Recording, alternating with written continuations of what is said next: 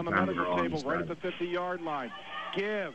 Medhog. This was a pretty important drive just to get, I think, Tolley. Tolley again for the home comfortable. For Jiskra. In Love the this. zone. Does he have it? Touchdown. There you go, Adam.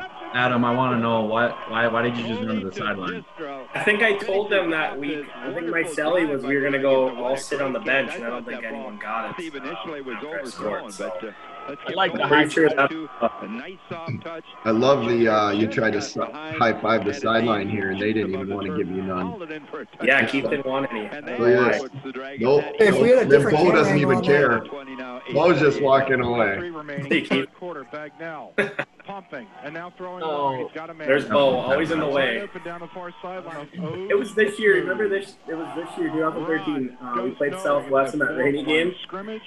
And Bo walked across the field up into the pocket, mid play. We're in the game. It's on the game film. Bagnell.